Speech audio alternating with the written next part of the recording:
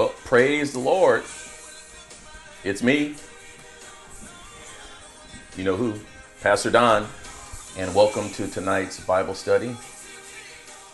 And I will be teaching, preaching, and technically directing tonight's service. I hope you brought your Bible with you, um, your note taking device, and you're ready to hear the Word of God. Hallelujah. Let me go ahead and um, lower the music. Thank you, Brother Todd, for bringing us to victory in Jesus. Hallelujah. Well, I think you just sang about it. Jesus brought us to victory, Jesus and the Father. Anyway, we're going to actually talk a little bit about that tonight. Um, if you have your Bibles handy with, with you, um, go ahead and open them with me, please, to, um, well, let me look at my notes. When in doubt, look at your notes. Go to uh, Galatians chapter 2. Galatians chapter 2. Hallelujah. I trust everything's all is well with everybody who's joining us tonight. Everybody joining us in Zoom. Hallelujah. Thank you for coming. All the Facebook Live people, thank you for joining us too. In Jesus' name. Hallelujah. So, um, you know, Sunday was um, Palm Sunday, and this whole week is what we call in the church Holy Week where we celebrate the death, burial, and resurrection of our Lord and Savior, Jesus Christ of Nazareth. Hallelujah. And tonight and on Sunday, we're going to wrap it up, you know, contingent upon the, upon the Holy Ghost giving us the, the, the green light to do it. Um, we're going to be talking about resurrection life. Resurrection life. Um, something happened to Jesus on the cross of Calvary, and something happened to you. Something happened when he was crucified to Jesus, and something happened to you. Something happened when he was buried, and something happened to you. Something really happened when he was raised from the dead to Jesus, and something really, really, really happened to you. And something is now currently happening now that he's seated at the right hand of the Father to Jesus, and something is currently happening to you. So I was crucified with Christ, and you were crucified with Christ, talking to believers now. When he was raised, you were raised. And now that he's seated at the right hand of the Father, guess what? We're going to talk about that. We're going to probably focus more on that on Sunday. But go with me, please, to Galatians chapter 2 and Brother Brent, I see that you said you're having um, issues logging into um, Zoom. If you go to our website, there's a password there. If it's asking you for the password, I put the link to the, the, the direct link to our Bible study. Password's not being accepted. Okay, did you hear me? I just heard you now. I got them. I'll take care of it. All right, thank you. Mm-hmm. Praise the Lord. We got real time tech support in the kingdom of God. Thank God for Pastor Michelle. All right, um, Galatians chapter 2, look at verse 20. And this is Apostle Paul speaking. And he says, I am crucified with Christ. This is how he saw himself. And if you want to live the resurrection life now, today, this is how you have to have the, an active revelation of how you see yourself. I am currently, present tense, crucified with Christ. Nevertheless, I live, yet not I so Paul recognized something happened to me on the cross of Calvary. He saw something that happened not only to Jesus, but it happened to him personally. Galatians 2:20 says, "I am crucified with Christ, nevertheless I live, yet not I. I'm not the person I used to be. Something happened. When he died, something in me died. But Christ liveth in me, and the life which I now live in the flesh, I live by the faith of the Son of God who loved me and gave himself for me. John 3:16 says God so loved he gave his son. Hallelujah. God so loved he gave Jesus. He was sacrificed. Hallelujah. On your behalf. So something happened to Jesus and Paul saw that. But something he also recognized something happened to him he recognized that he was crucified with Christ, he was raised with him.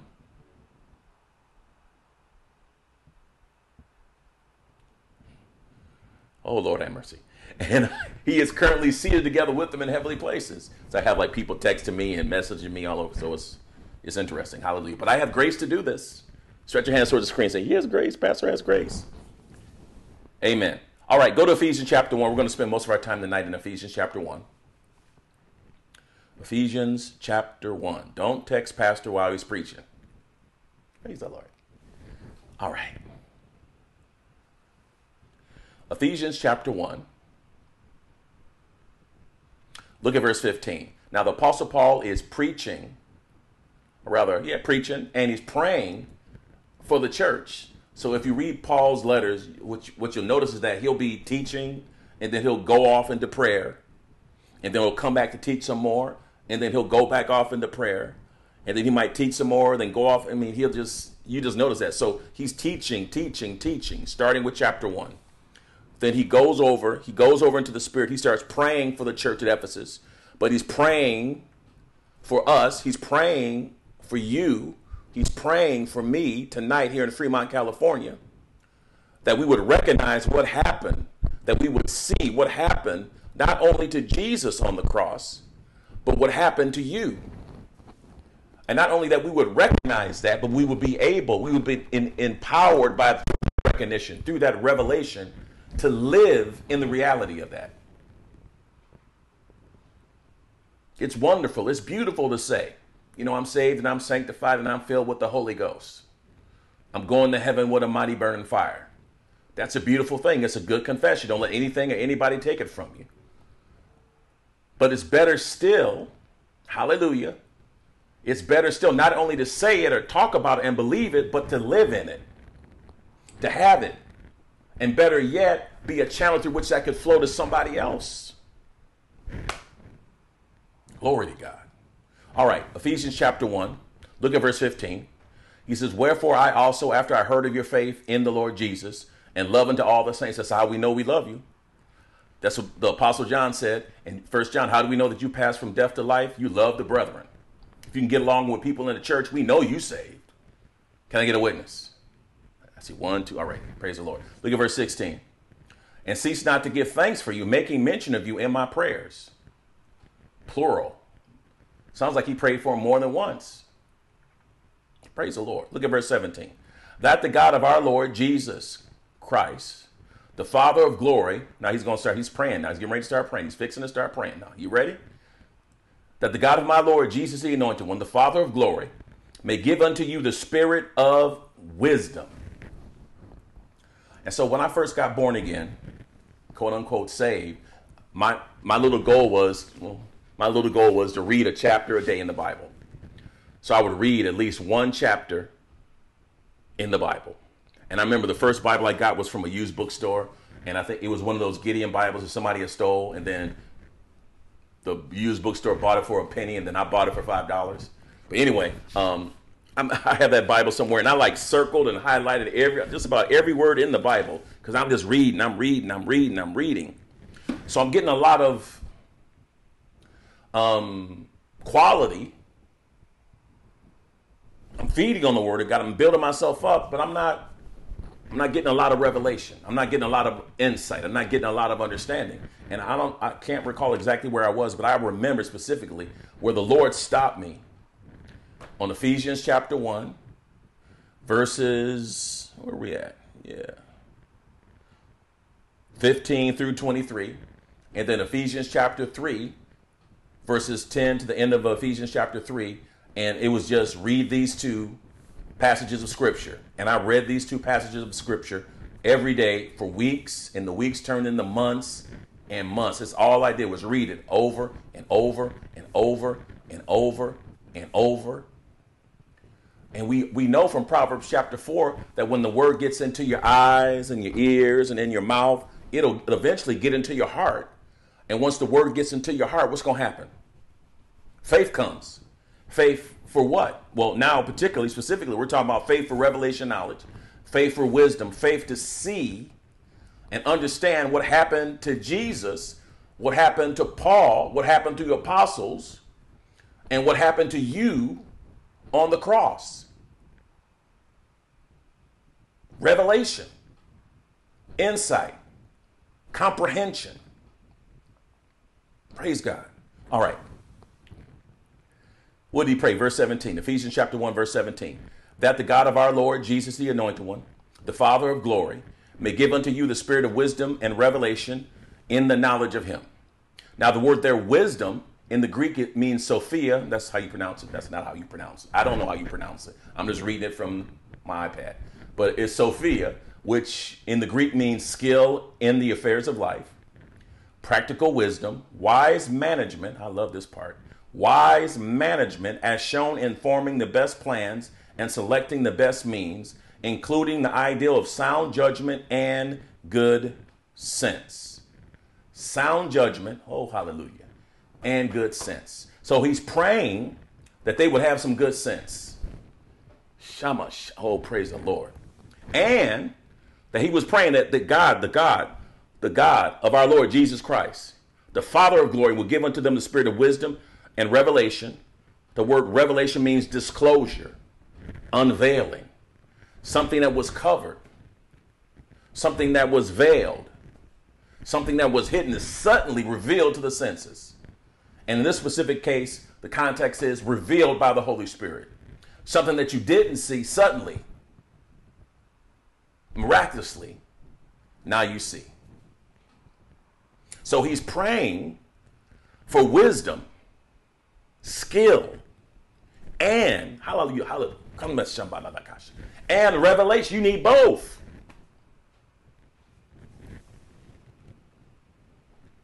Now you know, and I'm not talking about anybody here because we're wonderful, we're perfect, we're mighty, we holy, we're holy.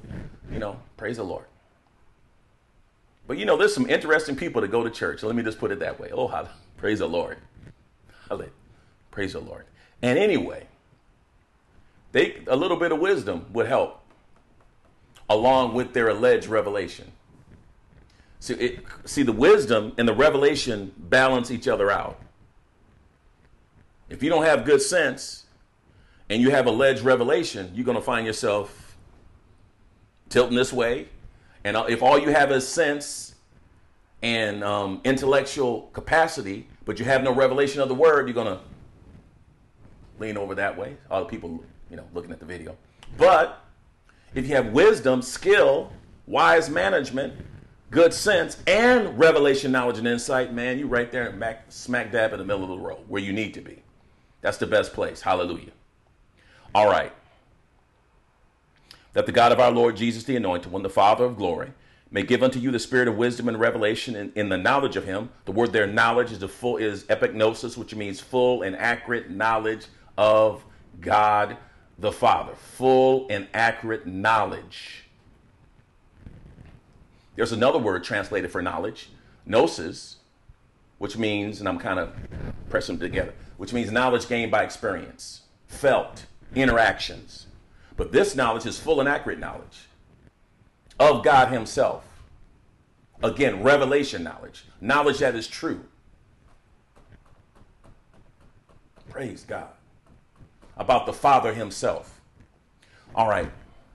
Go to Ephesians chapter 1, verse 18. It says, So he's praying, he's praying that they would get wisdom and understanding, revelation knowledge, insight of the Father Himself. And what's going to happen after that? Go to uh, Ephesians 1, verse 18. It says, That the eyes of your understanding, being enlightened, another translation says, flooded with light. So right now you can't see I got a big light over here and it got a little light over there. And if I turn these lights off, we'd be sitting in the dark. We would not be able to see Pastor Don and all of his tutorials. Anyway, maybe I should turn the lights off. Um, it's, it's easier to see when there's light. Praise God. That the eyes of your understanding, being flooded, I mean flooded, enlightened, that you may know. The word there, know, means to see. And depending on the, the, the tense that is used in, can mean see or understand. The eyes of your understanding being enlightened. So once your eyes of your understanding, the eyes of your heart, your spirit is enlightened, now you're going to be able to see some things. Previously, you were in the dark. You didn't even recognize. You couldn't even see. You didn't even know certain things were possible. Certain things were real. But now you can see. Praise the Lord. Now you can see. Once the eyes of understanding have been flooded with light, now you can see. See what? What is the hope of his calling? The word there, hope, means expectation, heartfelt expectation of good and the desire to receive it. You're expecting it and you desire it. Praise God. What is the hope of his calling? Okay, so what is this about? What are we? Why? What? Why are we? Why are you sitting at your house? Let's keep it. Let's keep it real. Can't leave. Um, well, in the Bay Area, we can't leave the house. We got all of, all of us on the couch in a Ziploc baggie for the next month or so. The rest of this month, at least. They're handing out tickets if you leave the house. You got to have a piece of paper saying that you're important and necessary to leave the house, unless you go into the grocery store or to Chick Fil A. You have to prove Praise God. I mean, why are you here? I mean, what? I mean, I wasn't raised in church. I, I never, I didn't know anybody when I was growing up that went to church. Um, I wouldn't go to church if God wasn't there. I wouldn't. I wouldn't. I know you're wonderful, but if God wasn't in it, I'd be at the house watching football on Sunday. I'm here because God is here. And He said, You be here. And I'm with Him, so I'm here with Him and you. Hopefully. Praise God. So what is this? What's where are we going? What is this about? There has to be more than just standing in line at Costco trying to get some paper and some I mean some water and some toilet paper. It has to be more to life than waiting on your Trump check to come. All right. The eyes of your understanding being enlightened, that you may know what is the hope of his calling, and what are the riches of the glory of his inheritance in the saints. His inheritance in the saints. Go to 2 Corinthians chapter 4. 2 Corinthians chapter 4. And it says in verse 6, 2 Corinthians chapter 4, verse 6, for the God who commanded the light to shine out of darkness. Anybody remember that from Genesis chapter, chapter 1 where God said, Let there be light? So that same God, that same person, divine person, for the God who commanded light to shine out of darkness, have shine in our hearts. So talking about you and me. To give the light of the knowledge of the glory of God in the face of Jesus, the anointed one. Verse 7 says, For we have this treasure. Hmm, so treasure is something valuable, right? We have this treasure in earthen vessels. That the excellency of the power may be of God and not of us. Verse 8 says, For, for we are troubled on every side, yet distressed not. We are perplexed, but not in despair. Verse 9 says, Persecuted, but not forsaken, cast down, but not destroyed. Verse 10 says, Always bearing about in the body the dying of the Lord Jesus, that the life, that the life also of Jesus might be made manifest or revealed in our bodies.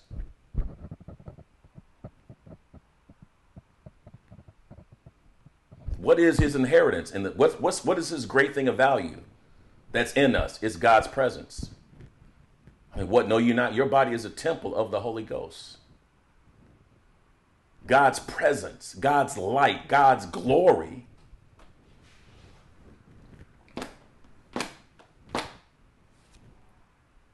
is on the inside of you. The same God that said, Let there be light,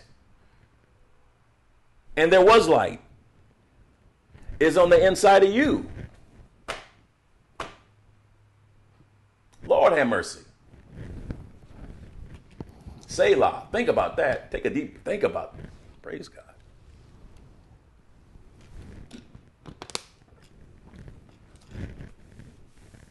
All right. Look at verse 19. And what is the exceeding greatness of his power to us? Oh, I'm in the wrong place. Where am I at? Oh man, where am I at? Not destroyed.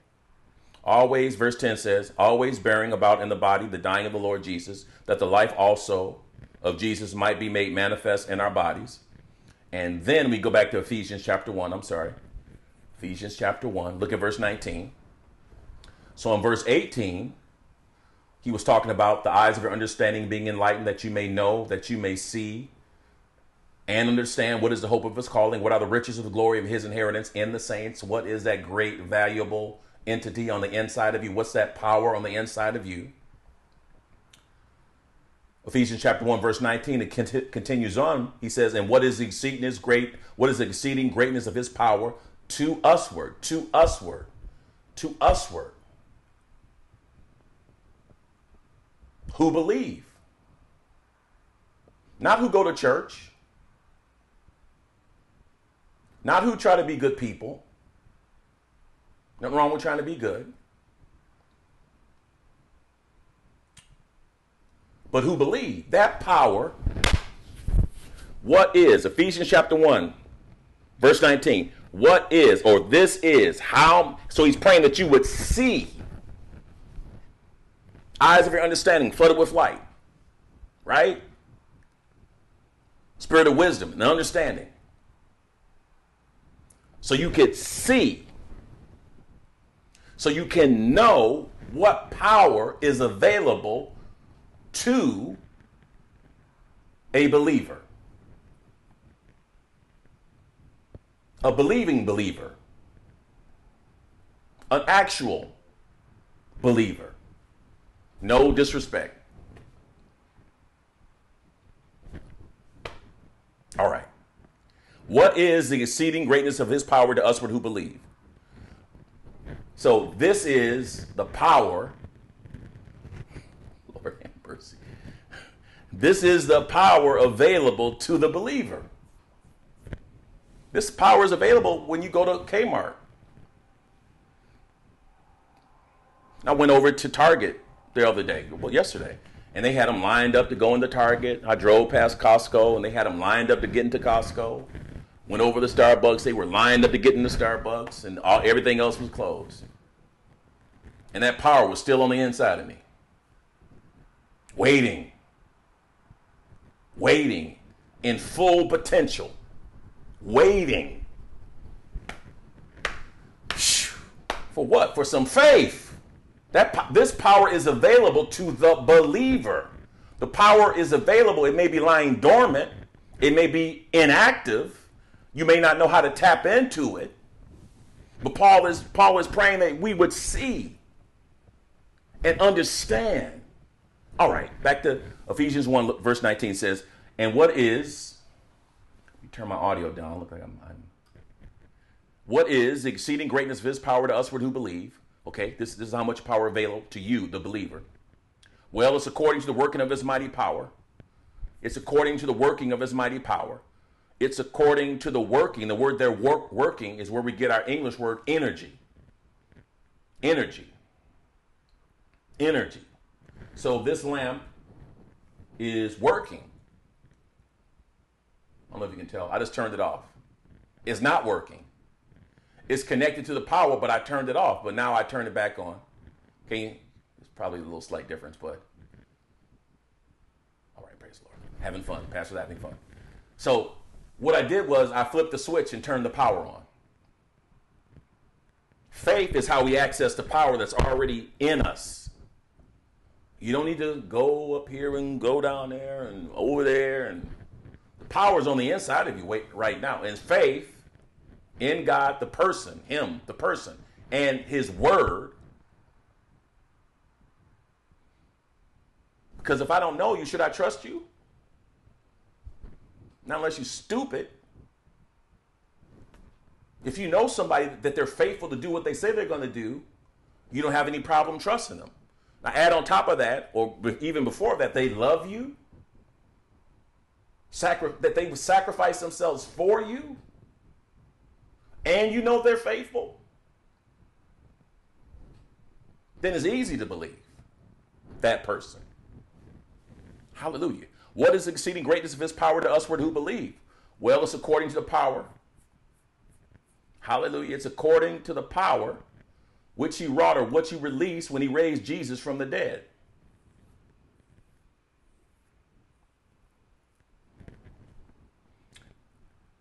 It's according to the power which he wrought or which he released when he raised Jesus from the dead. I don't think you heard me. It's a court, the measure of the power available to the believer. Okay, let's go over to um, Ephesians because I talked about it in the beginning. Ephesians chapter 3. So in Ephesians 1, the prayer in Ephesians 1 is, is Paul is praying that we would get revelation, knowledge, and insight into what happened to us on the cross and what that event on the cross, what it has made available to the believer. Then over in Ephesians chapter 3,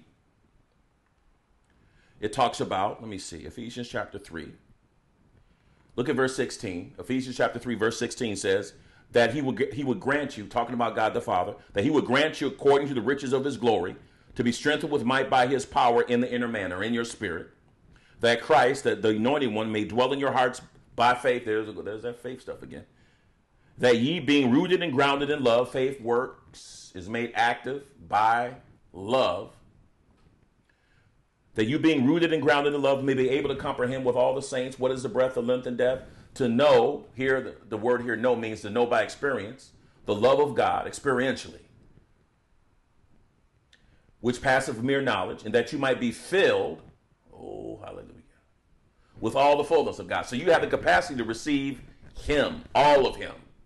If you want to know what that looks like, look at the life of Jesus. Read the Gospels. That's a man operating at his full spiritual capacity. Jesus was God manifested in the flesh, but he operated as a man anointed of the Holy Ghost. God expressed himself through me. Jesus said in John, Hallelujah. Chapter 14. It's the Father that's doing the work. He's working through me. He's expressing himself through me. He's operating through me. Hallelujah. So you see God operating in a man at full capacity in the life of Jesus. And the word just says here, we have the capacity to receive all the fullness of God. In Ephesians chapter 3, verse 19. Look at verse 20. It gets even better. It gets even deeper. Right, Brother Reggie? Say hallelujah. All right. Uh, now unto him that is able to do exceeding abundantly above all we ask or think according to the power that's actively at work in us.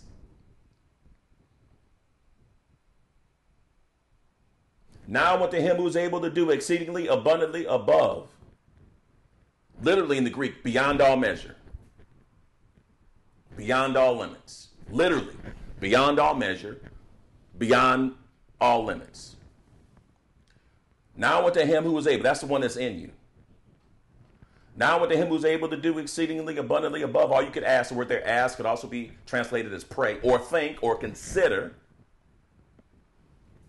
There's something God can't get you to consider because you have a self imposed limitation. You're faithful hit this man made, self made limit and you can't see and you can't ask past this this limit, this barrier. And so God needs to increase your spiritual capacity. He needs you to renew your mind. He needs to have the word and the spirit break down those barriers, those concepts, the self-doubt, the limitations that you impose on yourself when the word has no limit, when God's power has no limit. Your only limitation is the will of God. What did God say? What does the word say? Hallelujah. Now unto him who's able to do exceedingly abundantly above all we could ask or think. And I've told this before and many, many, many times. I'm going to say it again because I just feel led to say it. But when, the building that we're currently locked out of, that wasn't the first building we are supposed to be in. God had another one. He had a bigger one, three or four times bigger. Thank you, David. Three or four times bigger. Hallelujah. But I couldn't ask for it and I couldn't think it. He showed it to me. Later, when we moved into the place that we're currently locked out of in San Francisco, hallelujah. But we, the, but the building is not the church. We're the church. So because the building is closed, I mean the church is not closed. Hallelujah. All right, praise God. Anyway, so um, now to him who's able to do exceedingly abundantly above all we could ask or think according to the power of the work within us. So he he, he showed me he, he I got in to see the building. That he he he spoke to my heart. I have something better for you. Then he showed it to me. Then I went on the inside and I looked like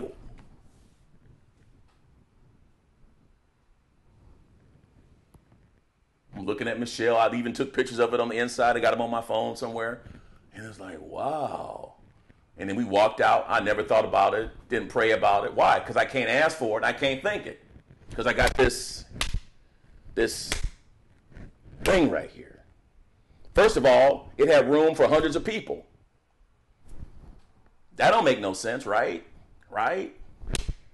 Now unto him who's able to do exceedingly abundantly above all you could ask or think. Why are we gonna get a building that can seat hundreds of people we don't have hundreds of people? That don't make no sense. Man, it costs all this money. Where are we gonna get all that money from? Well, I forgot that God supernaturally provided the money for the building, the little building we were in.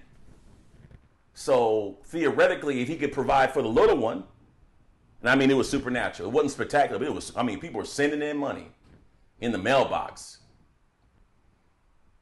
so theoretically, if he could do it for the little one, maybe, maybe with a little bit of take out a loan, you know, payday loan, maybe God could get the money some ways. Oh no! Hallelujah! I'm sorry, I got happy. The gold is his. Remember the scripture? Gold is his, silver is his, the cattle on a thousand. His. It's all his. Where he lives at, the city where he lives at, streets paved with Gold. Gold so pure you can see through it. Not broke. Well, how are you going to get the money? Well, that's not the problem. The problem is our faith. What can we what can we believe him for? What can we trust him? What are we willing to ask? What are we, what are we willing to think about? God is talking about doing stuff now, growing the church now, and we locked out the building. Like, God, what are you talking about? So I'm thinking about expansion, growing the church, but we, we I can't leave the house.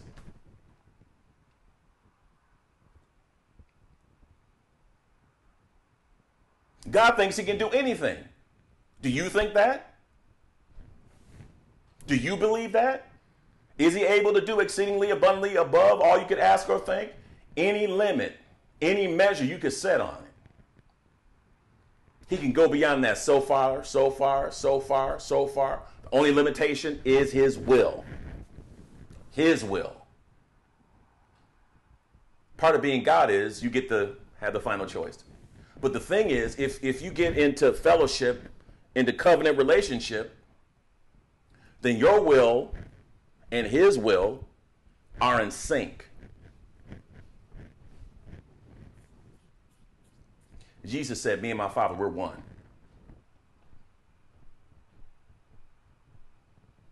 Hallelujah. All right. Go back to Ephesians chapter 1. Ephesians chapter 1. I'm having fun. Praise God. Ephesians chapter 1. So what is the power available to the believer? Let's go back to um let's see. Just a little bit to add context. Ephesians chapter 1 Verse 19 says, And what is the exceeding greatness of his power to usward who believe? Well, uh, it's according to the working of his mighty power. Go down to verse 20, which he wrought in Christ, or which he released in Christ when he raised him from the dead and set him at his own right hand in heavenly places. That kind of power is available to the believer. What kind of power is available to the believer? Well, it's the same measure of power that's available which he wrought or what he released when he raised Christ from the dead. So when God created the earth, no one was resisting him. When Jesus was raised from the dead, hell, the devil, all of them were resisting him. If you read Isaiah 53, it says, To whom was the arm of the Lord revealed? Talking about when he raised up Jesus from the dead. He was it wasn't a strain, it wasn't a struggle. He just raised him up.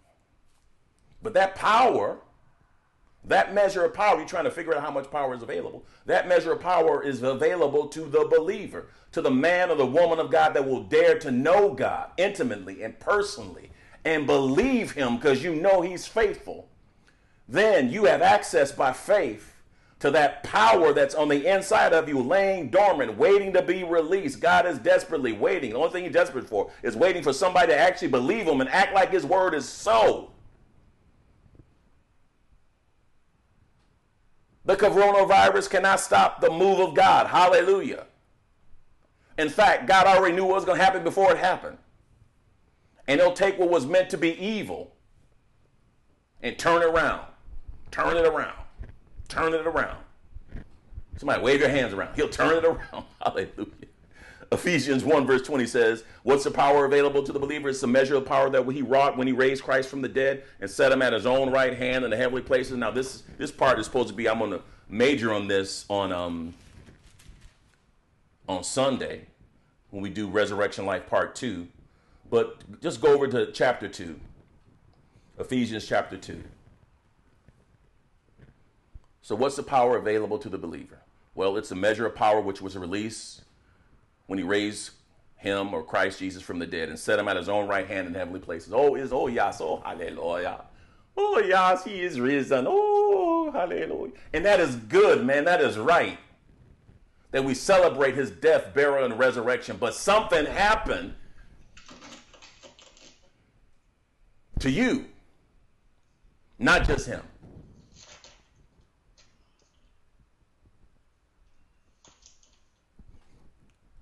Let me go ahead and mute Brother Reggie. I think you're doing the dishes. All right. There we go. Something happened, not to G, but something happened to you. What happened? All right. Uh, Ephesians chapter 2. Now, in Ephesians 1, verse 20 says that the power or the measure of power available to the believer is the same measure of power that was released when he raised Jesus up from the dead and set him at his own right hand in heavenly places. Ephesians chapter 2, verse 5 says, Are you ready for this? Are you are you sure you're ready? All right, here I'm gonna go. I'm gonna go. I'm gonna go.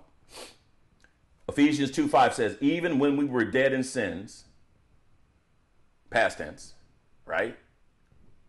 Even when we were dead in sins, he have quickened us together or made us alive together with Jesus, with the anointed one. Made us alive together. What did Paul say in Galatians chapter 2, verse 20? I was crucified with Christ. Yet I live, yet not I, but Christ liveth in me. I was crucified. I was crucified. Is that is that the way you I died? I died. The wimp died. The loser died. The victim died. The sinner died. The bad guy died. The bad girl died. Hallelujah. Hallelujah.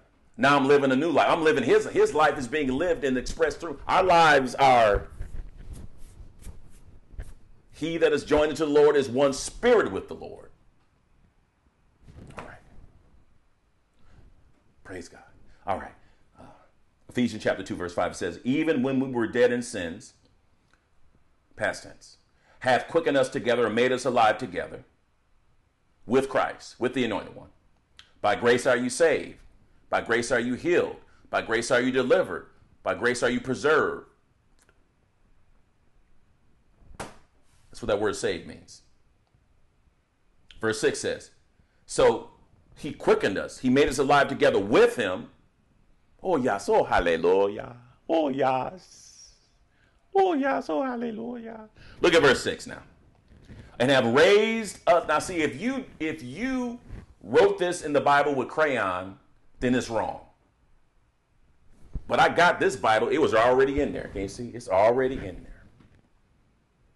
If this was your idea, it's wrong. But this is God's idea. God's idea is what He did for you and to you in Christ Jesus. All right.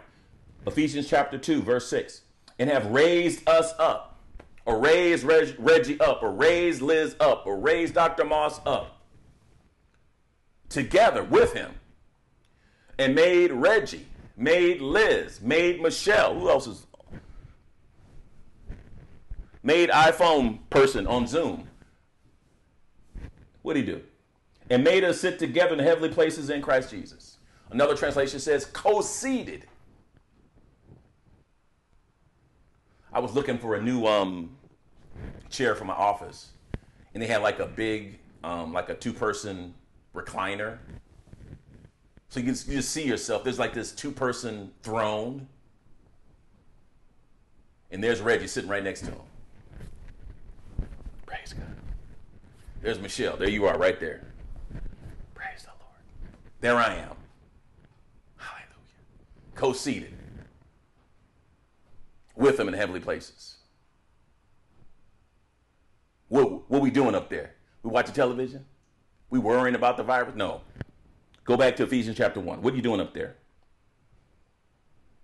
So verse 20 says, what is the power available to the believers? It's according to the power which he wrought or released in Christ when he raised him from the dead and set him at his own right hand in heavenly places. That's already happened. Whether or not you're living in the reality of that is something else. Hallelujah.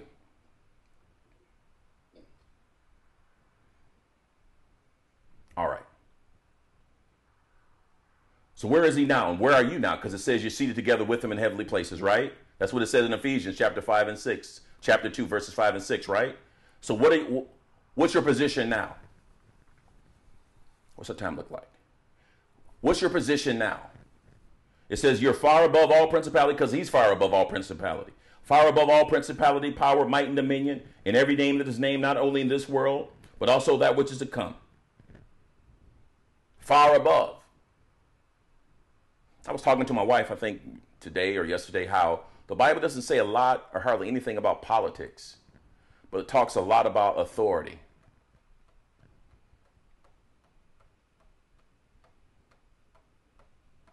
Talks a lot about authority. Hallelujah. Why do we waste our time with politics when we could be seated together with them in heavenly places and governing and ruling and controlling with Him? According to the will of God, not according to your personal preferences. Can I get a witness? Hallelujah. Far above all principality, power, might, and dominion, every name that is named, not only in this world, but also that which is to come. Verse 22 says, And have put all things under his feet, and gave him to be the head over all things to the church. What is the church, brother pastor? Well, I'm glad you asked me. Look at verse 23. The church is his body, the fullness of him, or the full measure of him, that filleth all in all. Woo! Glory to God.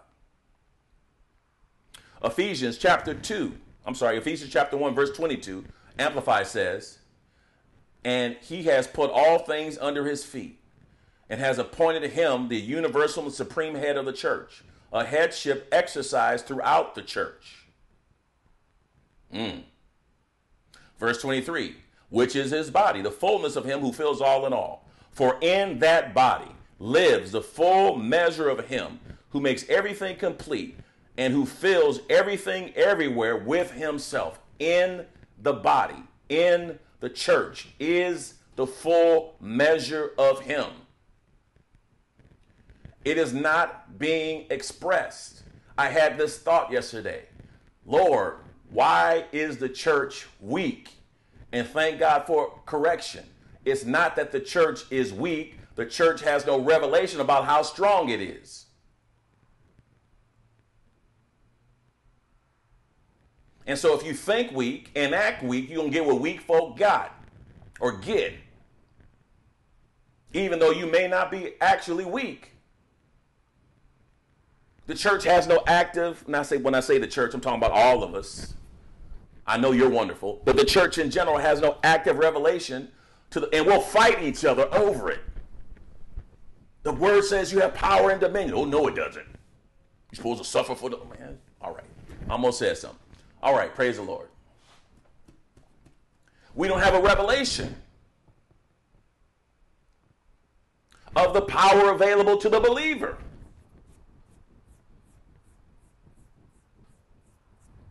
Which is according to the power that was released when he raised Jesus from the dead. If the devil couldn't stop that, how you think he's going to stop you? and me and Reggie once we have the active revelation of who we really are. Let's go back to Galatians chapter 2, verse 20. What our current state of being actually is. Talking to people who walk by faith and not by sight. Because you might look in the mirror, it don't look like this. You might look at your body, it don't feel like that.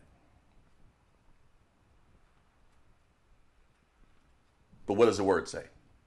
Galatians chapter 2, look at verse 20. I am crucified with Christ. Nevertheless, I live, yet not I, but Christ, or the anointed one, liveth in me. And the life which I now live in the flesh. You're talking about now.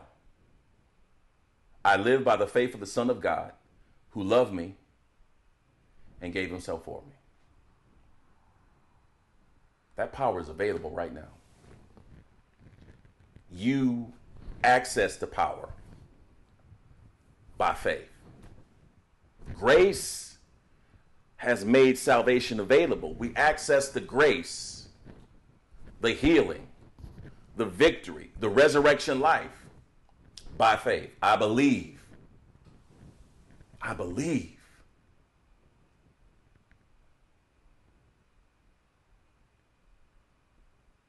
Paul not I don't know how to put it. Um, I don't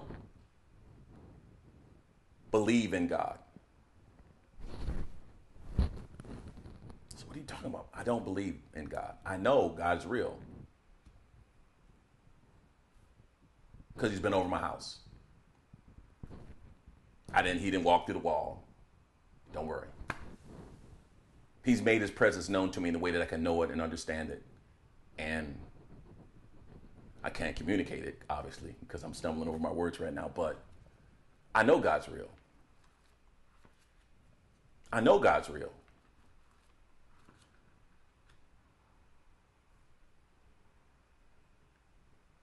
He stepped out of eternity into time, into my house, into my bedroom, when I was jacked up, and made himself real introduced himself, came into my life because I let him in. I know he's real. I know the Bible is the Word of God because I was sitting in the Detroit Public Library and I was thinking about these things, and I, am a little baby Christian. And the Word says it. You know, the Bible, you know, holy men of old wrote the scripture as they were inspired by God. Scripture is given by inspiration of God, literally, God breathed his life is in the word. When you approach it in faith, then that life is released when you approach God's word in faith. Hallelujah. And I heard from God. And he said what the word said. He, he will always say, everything that he says to you about your everyday life will always be in the context of this book. Remember one time, I'm not going to go there. Anyway, he said, I wrote the Bible. So there's there's two things. I know God's real. I know the Bible is him communicating to man in the earth. I know the writer of the of the word, the Holy Spirit, because he lives on the inside of me. He helps give me understanding into this word. He'll help you. He'll even use like, you know, me and, with my natural limitations to commu- to communicate the truth of the word I'm sitting in a converted garage that was made into an office, a little house. We called it a mini house. With a, I'm looking at my little camera here with my little my little stuff around, my little lights, Amazon lights. And through this thing we're doing, the Holy Spirit can be in between us, and us both, translating, speaking to your heart, highlighting points making it, you know, even with my, you know, make it all make sense a little bit, kind of. And if you've been taking notes and if you look at it for yourself more than once, he'll talk to you about it more than once. And then you'll start to see. Then you'll start to understand. Then you'll start to put all the things together. Praise God. Praise God. This is not the end, folks. This is just the beginning. Where's my little mic? Jesus is coming. Jesus is coming back real soon. Lord have mercy. We don't have time to waste. You, before you know, 20 years ago, you could just waste time and lay in front of the TV and oh man, we don't have time to waste. We got to make the, mom- the most of every opportunity. We're going to come out of this stronger. I'm speaking for myself. I'm speaking, you know, prophetically. At least for the people that's been attached to this ministry, we're going to come out of this stronger. We're going to come out on this with, with a momentum that we didn't have before.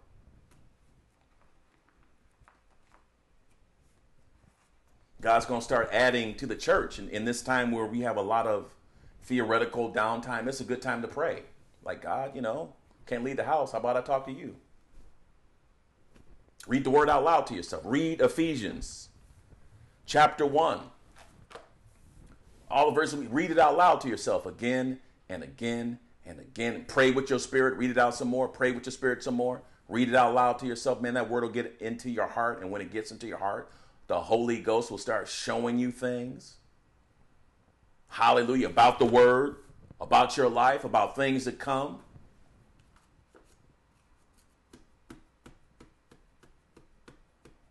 Praise God. I said, Praise God. Hallelujah. Hallelujah. All right. Um. All right. So, this is the place where I we, we usually beg for money, but I'm not begging. The the best investment, the best investment you can make is in the kingdom of God, into the lives of other people. I humbly ask you to pray. Ask God, should you should you give? And then just do what he tells you to do.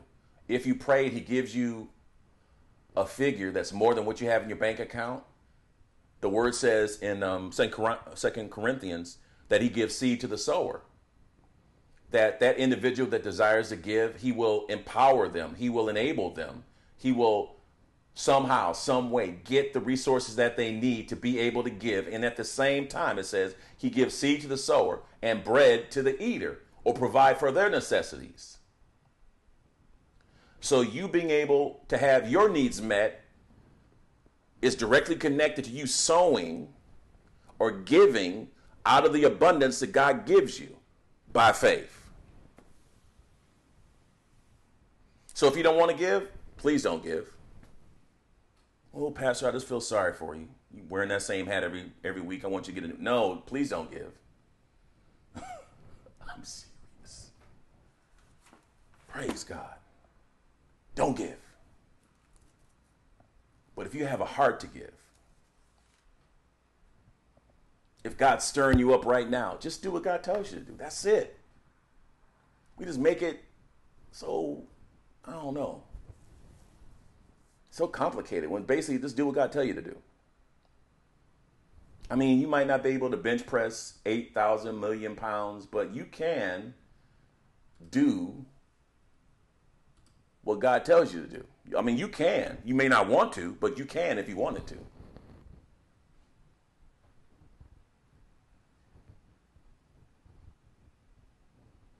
And if you ask him for help, Philippians talks about that, you know. He'll give you the capacity, he'll give you the ability both to will and to do his good his good will, his good plan, his good purpose.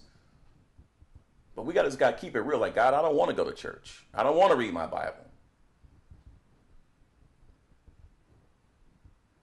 But I want to want to. Help me. I want to want to. Help me, Lord. Both to will and to do your good pleasure. Help me, Lord. And he will help you. to want to and to do it. Because that power is on the inside of you right now. Hallelujah! Woo! Pastor um, Michelle Renee Monte, are you still available or did you fall out? What's going on? On the glory. You gone on to glory? You? You're not serious, right? You yes, I'm actually speaking to you from heaven right now. It's great. praise God. You guys. sound good. All right. I'm enjoying it. I don't have any announcement. Uh, Make something I'm up. doing- We're all at home. Make something up. It's like it really. It doesn't. We can't really no announce new 'cause we- announcement. Going So, um, tomorrow morning, six a.m. prayer.